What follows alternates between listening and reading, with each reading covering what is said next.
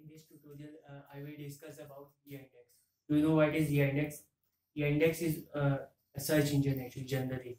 It is a Russian search engine. So uh, if someone asks you what is Yandex, then uh, internet service company, and it is a Russian multinational technology company. It is basically uh, uh, used in Russia. So Yandex is the largest Russian search engine means in uh, the google is used google search engine is used all over the world more than 70 percent.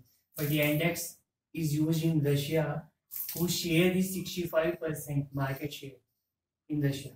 And its headquarters are located in moscow russia. And its ceo is uh, R, R, and it is founded in 2000 year 2000 and its subsidiaries are spb software Agnitum, Yandex LLC, and its founders are um, Arkady Volozh, Ilya Segalovich, Elena Kolmanovskaya. And uh, this is all about the Yandex is someone asked.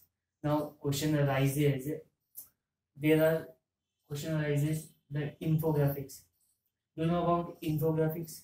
Then this is the assignment for you that uh, please comment uh, who is the uh, in which country the infographics uh, was which country the infographic was created. And another question another assignment is for you is that the name of the chinese search engine thank you for watching